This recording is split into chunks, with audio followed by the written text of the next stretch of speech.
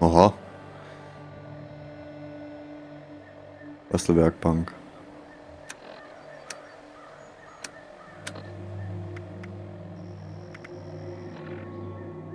Wood-Anwesen.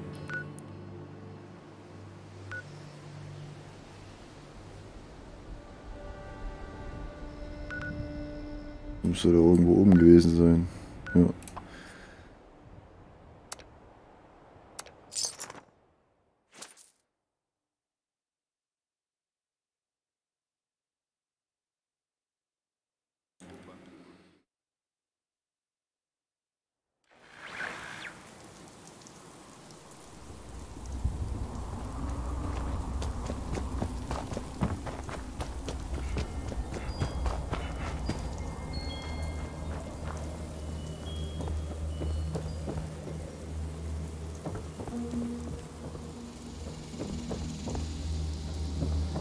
Im Wood-Anwesen. Hier war das Terminal hier irgendwo. Whiskyflasche da.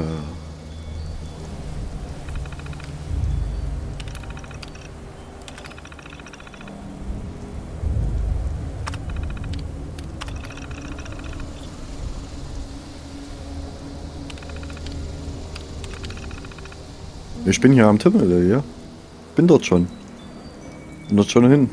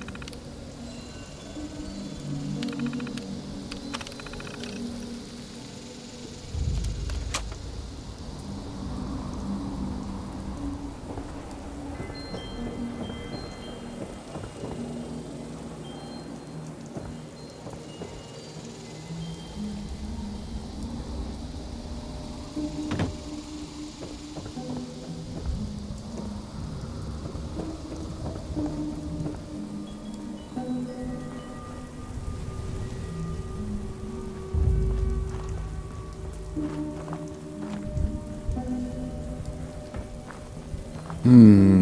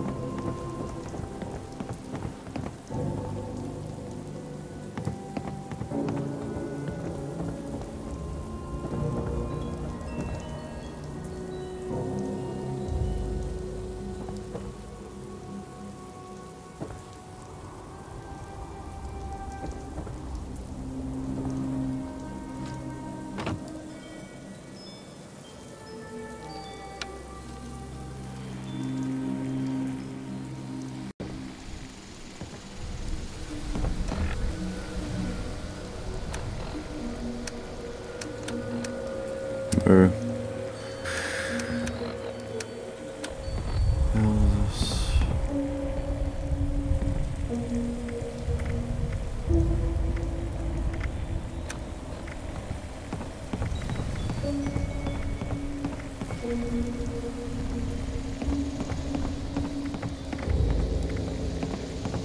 Aufseherlogbuch. Oder sollte ich lieber sagen, direkte Kommunikation. Denn wer das hier hört, hatte den Mumm, sich auf die Suche nach mir zu begeben. Gut, dass Sie nach mir suchen. Um ehrlich zu sein, benötige ich Ihre Hilfe. Ich habe eine Aufgabe erhalten und beschlossen, gegen das Protokoll zu verstoßen, indem ich Ihnen davon berichte. Denn wenn ich eines in den letzten Jahren gelernt habe, dann, dass wir uns aufeinander verlassen müssen. Es gab in Appalachia drei aktive Atomraketensilos, bevor die Bomben... Hallo Sir, willkommen in Wavy Willers Wasserpark. Wie kann ich Ihnen helfen? Ah, hallo. Ich habe mich gefragt, wo der Kasten für die Post ist. Fernseher, mit dem man die Sondermarke auflegen kann. Oh, den finden Sie beim Eingang zum Krokolossus Mountain. Gleich da drüben. Na, durchsuche das Anwesen. Ich weiß bloß nicht was. Ich gucke jetzt gerade meine ganzen Dinger durch.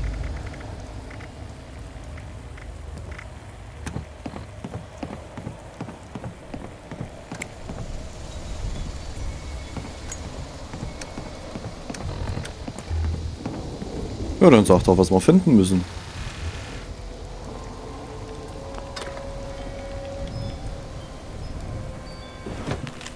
Ah, hier ist eine Notiz im Schrank.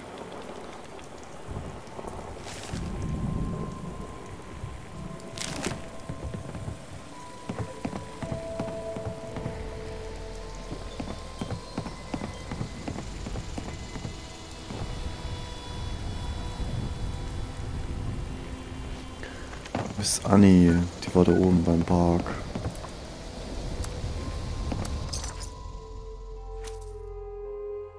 So, dann gehe ich nochmal schnell aufs Pipi machen und dann sind wir auch gleich wieder da. Machen wir an dieser Stelle einen Cut. So.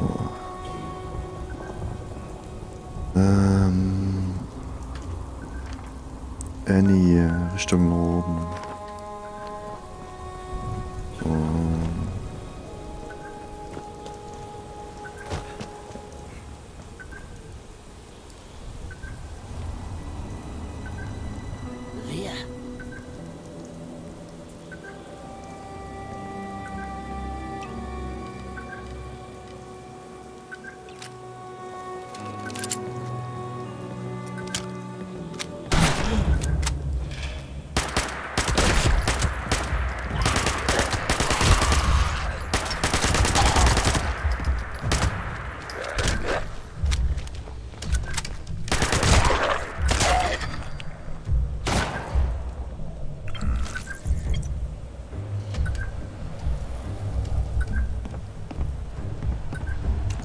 Abschnitt V2.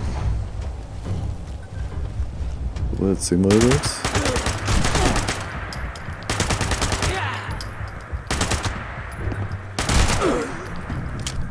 Oh, nachladen schnell kommen.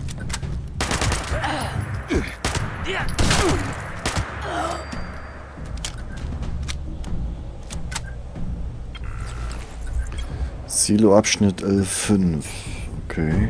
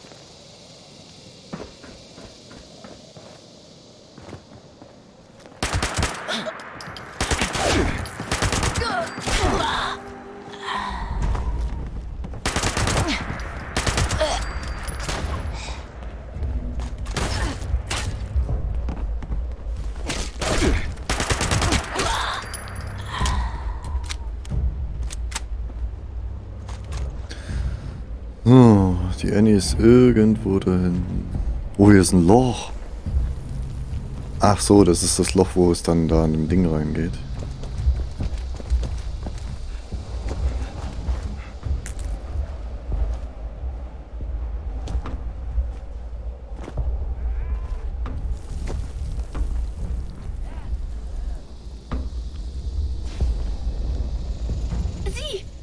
sind wieder da. Und mein Freddy? Das, das ist Freddys Handschrift. Sein Vater wollte nicht, dass Freddy zum Onkel geht, aber Freddy hat ihn so sehr gemocht. Oh, mon petit chou. Das ist so schlimm für meinen tapferen Jungen. Eine, wie sagt man gleich? Spielfigur für Onkel und Vater zu sein. Das haben Sie im Haus gefunden? Oh, mein armes Kind. Diese Angst. Da steht, dass er sich vor den Bomben in Sicherheit gebracht hat. Das bedeutet, er könnte noch leben.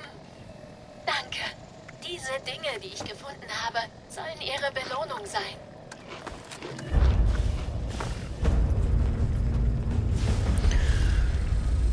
Yeah. So. Den haben wir jetzt abgeschlossen, genau.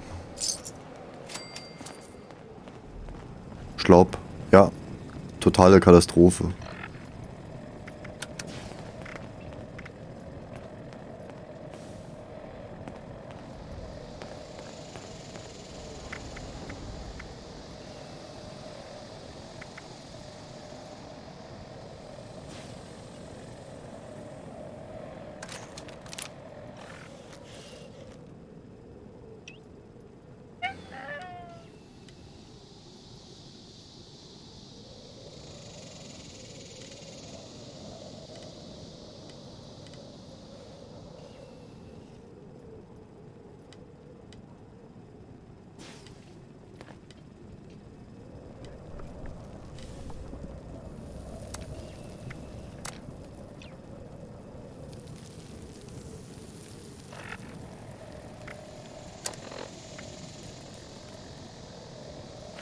Können wir machen, ja.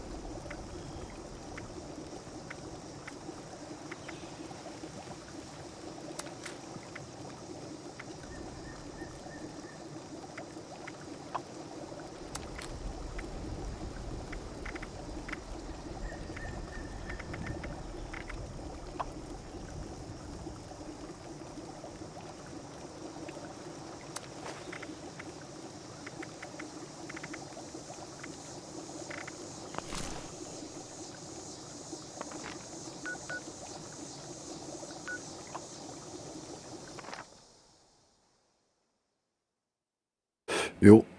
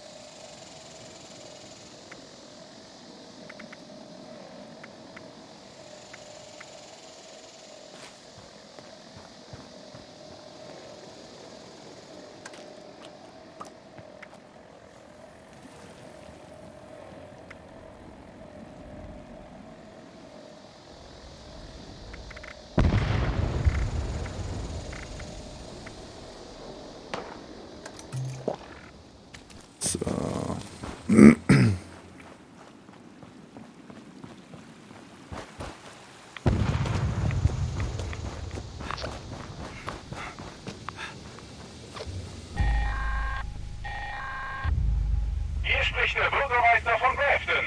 An alle, die mich hören können. Es gibt da einen kleinen Notfall. Die Hornsträucher in der gesamten Gegend sterben ab. Wie soll das Hornstrauchfest ohne diese prachtvoll blühenden Bäume stattfinden? Wie, wie heißt die Quest? Achso, nee, das ist jetzt die andere Quest. düngt.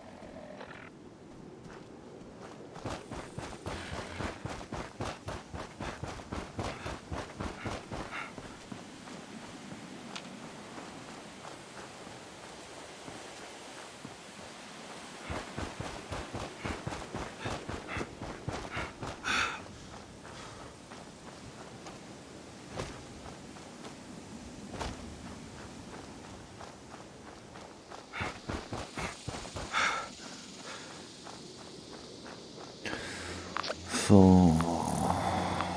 Die haben wir jetzt verlassen. Gut.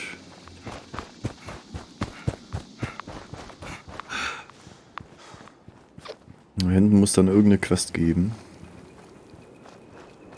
Ja.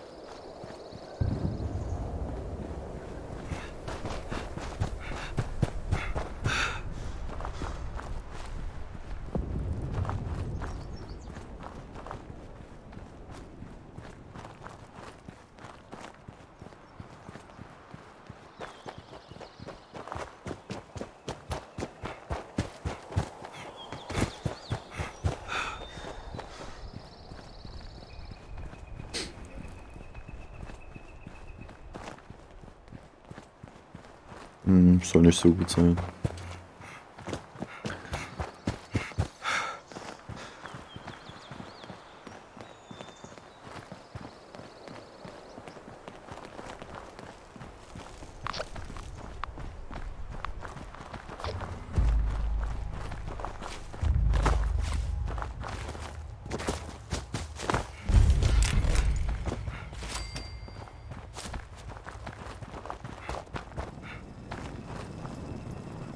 Hallo! Sie müssen vom Team für archäologische Erhaltung sein. Ich habe ein echtes Problem. Beim Bau neuer Außentoiletten haben wir die Überreste eines Nordstaaten-Soldaten aus dem Bürgerkrieg entdeckt.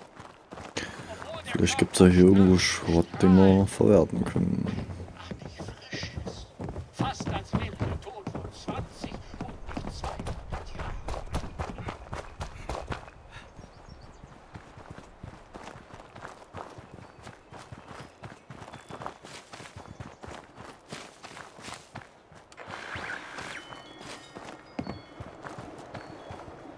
Die Kolonisten ließen üblicherweise ein Lagerfeuer brennen, um Eintopf oder Kaffee für die Nachtwache zu kochen. Oh Mann, ich wette, die Kolonisten hätten gerne eine eiskalte, erfrischende Nuka-Cola getrunken, als die Rotröcke an diesem frühen Herbstmorgen angriffen. Besuchen Sie nach der Tour auch unseren Geschenkartikelladen nordöstlich vom Vor, um Souvenirs zu erwerben und eine eiskalte Nuka-Cola zu genießen.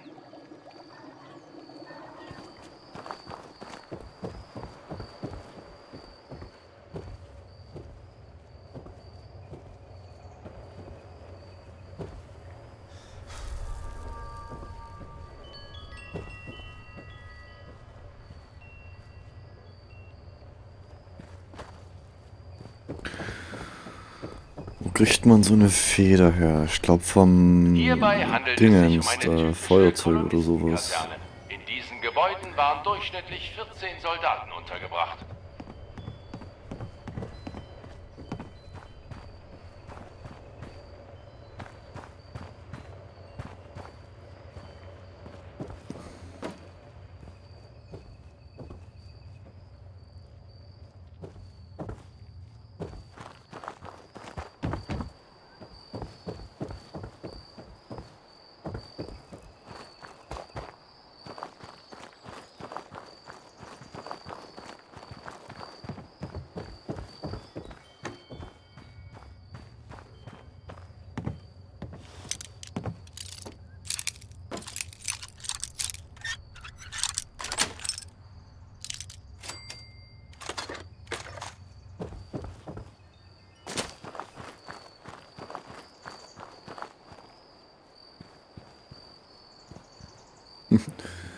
Die Scheißerschüssel hier. Zweimal Scheißhausen. Tja, Feder.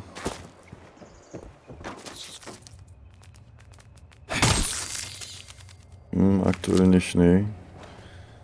Säge, Zahnpasta, lalala.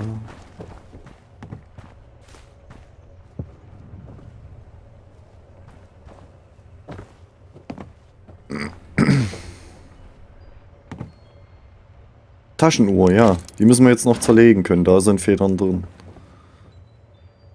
Kreideschädel.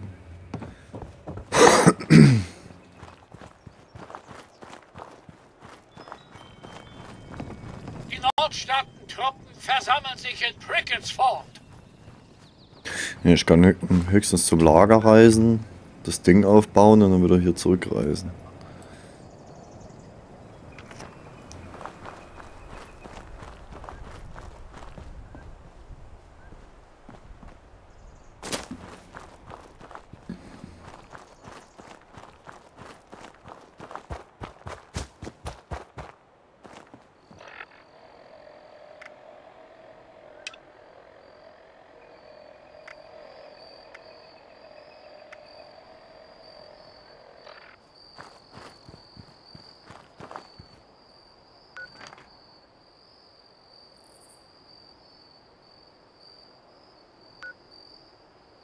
Da schlägt die irgendwann ein.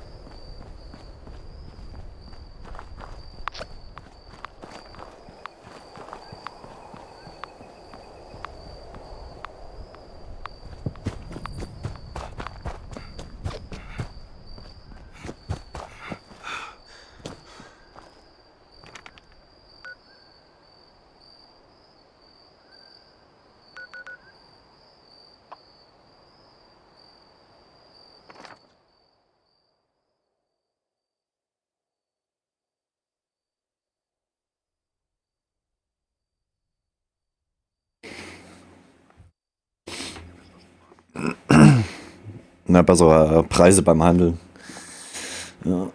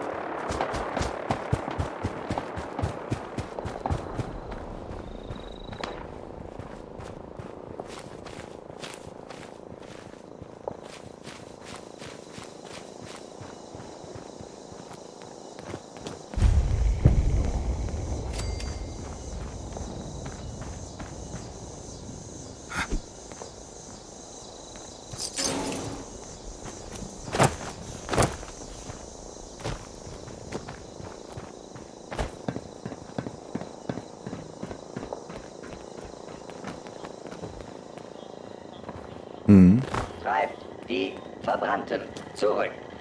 Legt die Prüfung der Feuerteufel ab. Melde Aufseher-Logbuch, Feuerwache Charleston. Die Automatisierung hat früher das Leben in West Virginia bestimmt. Jetzt ist sie das Einzige, was noch da ist. Diese Trainingsprogramme der Responder. Wie viele Überlebende haben sie durchlaufen? Man muss es schon als seine Berufung ansehen, wenn man freiwillig mitten in ein Feuer läuft. Leute rettet.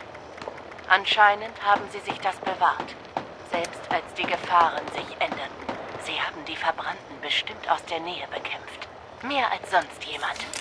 Ich muss herausfinden, was sie wussten. Ja.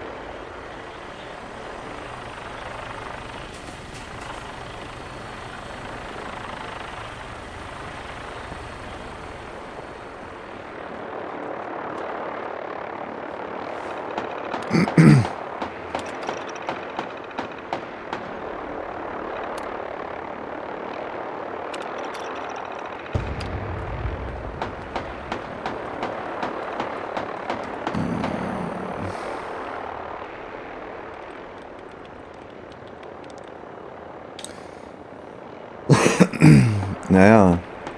Jetzt ist halt die Frage, der Tunnel, den sie durchqueren, führt sich in ein Gas, Atemschutzgerät nicht dabei. Was tun sie? Nicht. Also Streichholz anzünden glaube ich nicht. Höhere Position. Hm.